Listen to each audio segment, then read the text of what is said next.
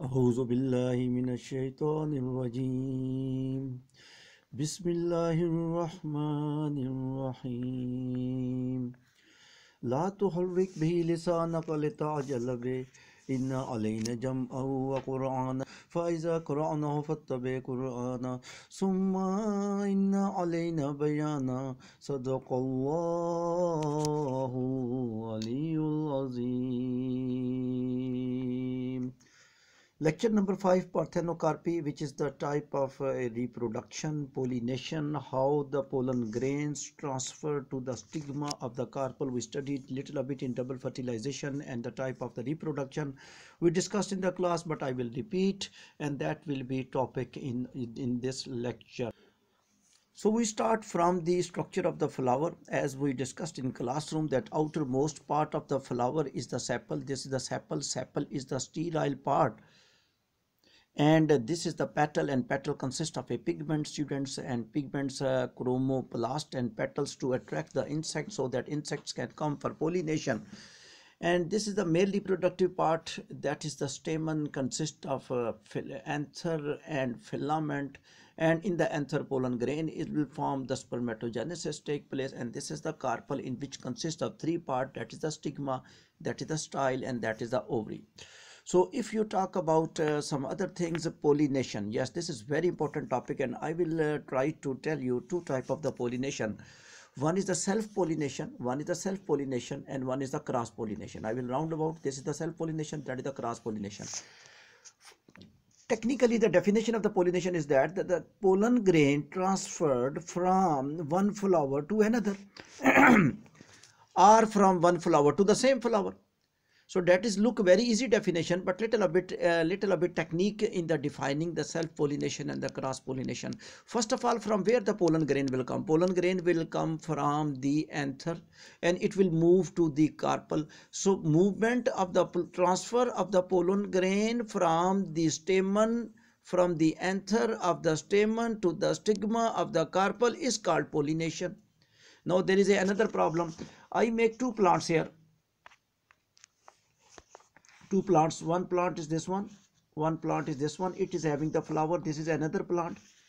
So if the movement of the pollen grain from the stamen of the flower of the one plant to the carpel of the flower of the another plant is called as cross pollination. These are technical so you have to repeat these words uh, again when i will complete my definitions so movement of the pollen grain once again movement of the pollen grain movement of the pollen grain from the stamen from the stamen from the anther of the stamen of the flower of the sample of the one plant to the stigma of the carpel of the another plant. This is the cross pollination. Technically easier but little bit a little a bit uh, uh, technique is used in defining so that uh, definitions should not be confused. Now i will define the self pollination. This is little difficult. That's the point i was talking about. Now i will make many flowers of the one plant. This is a flower uh, this is a one plant. It has two flower. It has two flower so this is very important to define the self pollination. The transfer of the pollen grain from the anther of the stamen of the one flower to the carpel uh, to the stigma of the carpel of the same flower or to the carpel of the stig of to the stigma of the carpel of the another flower of the same plant this is called the self pollination it means self pollination has two options. Mean in simple words that crossing will take place in this flower flow of the pollen grain. From this flower to this flower this is also self pollination and from this flower to another flower but of the same plant so this is also self-pollination. Cross-pollination very straightforward. It takes place between two different flowers of different plant. But self-pollination little bit confusing because that takes place in the same flower as well as in another flower but of the same plant. So i will define once again the movement of the pollen grain from the stigma from the anther of the stamen of the one flower to the stigma of the carpel of the same flower. Self or or R mean there is another option. Or to the carpel to the carpel or stigma of the carpel of another flower but of the same plant. So this is the definition of this is the definition of uh, this is the definition of the uh, self pollination and the cross pollination so we talk about uh, uh, now the pollination how many types is there uh, how the by the ways what are the ways what are the procedures by which the pollination take place so there are two ways by which the pollination take place. One is a insect pollinated flower, one is a wind pollinated flower. Insect pollinated flower mean insect facilitate transfer of the pollen grain from the male part to the from the male part to the male part of the flower to another uh, to the stamen to the carpel and collection of the stamen you know that is called androecium. Collection of the carpel is called gynoecium. Collection of the sepal is called the calyx. Collection of the petal is called corolla.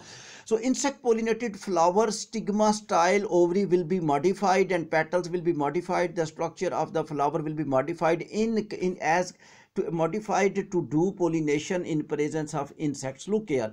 Now if the insects is transferring pollen grain from the one flower to another so it means petals should be bright color so that insects can be attracted by the petals and they will go and they will be they are carrying the pollen grain. They are important. Flower face upward so that the insects can see the flower and can reach the pollen grain to the target side. Of course the uh, small this is also headings should be important to see. Stamens and stigma must be inside the ring of the petal so that uh, the pollen grains can enter by the pollen tube.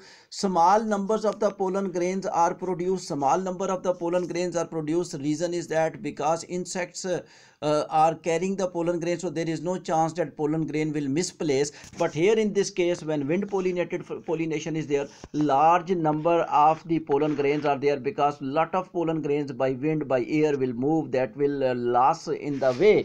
And also when the wind pollinated flower is there the petals must be green. There is no need to attract the insects because wind pollinated flower uh, carries the pollen grains by the air. And also the branches of the branches of the stigma. Branches of the stigma must be feathery this is very important. The branches of the stigma. So this is a stigma this is a style and this is the ovary. These are the branches of the stigma. The branches of the stigma must be the feathery feathery mean like the wings so that air come. So pollen grains can be captured very easily because insect uh, uh, enters the pollen grain very easily into the tube. Therefore stigma will be very reduced in case of the insect pollinated flower. So these are some modifications of the self pollinated flower and the cross pollinated flower and insect pollinated flower and the wind pollinated flower. And this is the alternation of generation of the plants. Sporophyte is diploid. Two generations sporophyte generation sporophyte generation sporophyte generation and the gametophyte generation. Sporophyte will do meiosis. It will form the spores and the gametophyte will form the gametes. Sporophyte is diploid 2 and it will do meiosis. Spores are haploid and gametophyte 1 and also haploid.